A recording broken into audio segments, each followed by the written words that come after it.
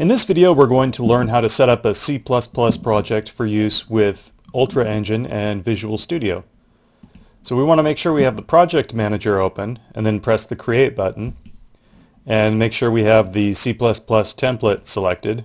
This is available in the Pro version of Ultra Engine and then press the next button to create our project. And I'm just going to click on this and that will make uh, the editor load up our project. You can see we have our Visual Studio files here. So I'm just going to double click on this and that opens Visual Studio.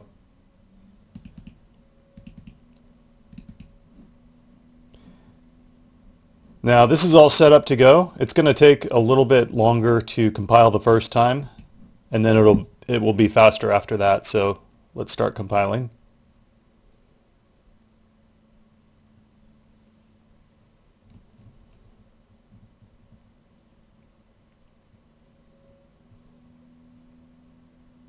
And now we're in the game. This is just the default map.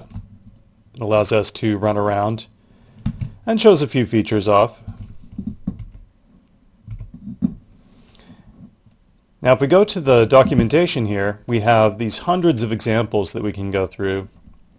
And with any one of these, you can just copy the contents of the example there and then select everything in the main.cpp file, delete it, and paste our example code in. And then using that we can run any of these examples.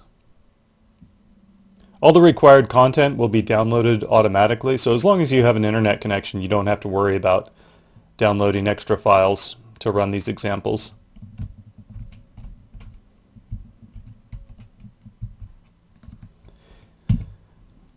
So that's the basics of C++ and Ultra Engine. Please stop by the forums if you have any questions. Uh, hope to see you there.